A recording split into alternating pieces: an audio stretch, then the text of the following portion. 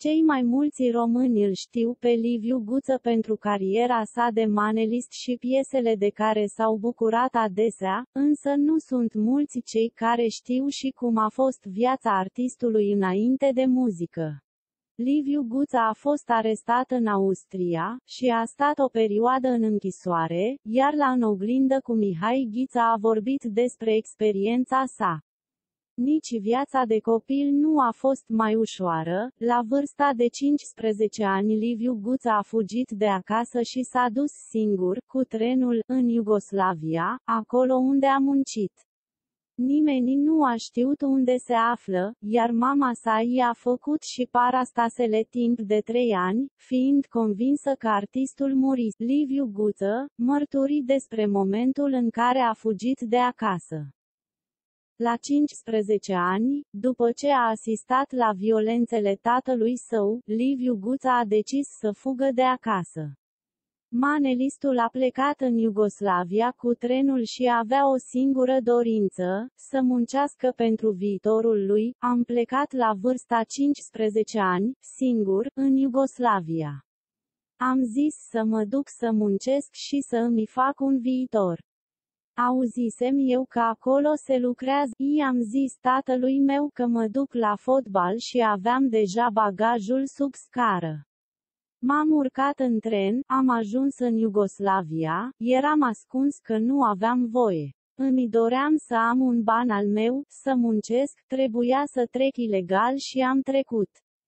M-am băgat într-o cușetă și m-am băgat sub cușetă, iar de acolo am stat liniștit și am coborât când am ajuns, a mărturisit Liviu Guță în emisiunea moderată de Mihai Ghiță. Părinții nu au știut unde se afla Liviu Guță așa că mama a început să îi facă parastasele, fiind convinsă că este mort, după trei ani a ajuns înapoi acasă, iar atunci membrii familiei nu l-au mai recunoscut, mama lui fiind cea care a leșinat terminat am stat în Iugoslavia trei ani de zile. În timpul acela, mama mea mi-a făcut parastas.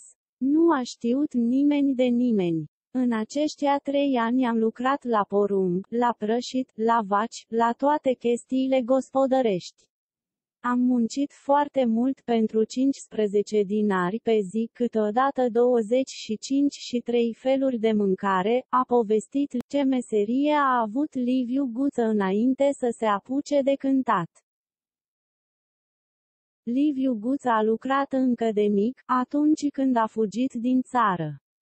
În Iugoslavia s-a ocupat de treburile gospodărești, însă în Austria a lucrat ca îngrijitor de câini.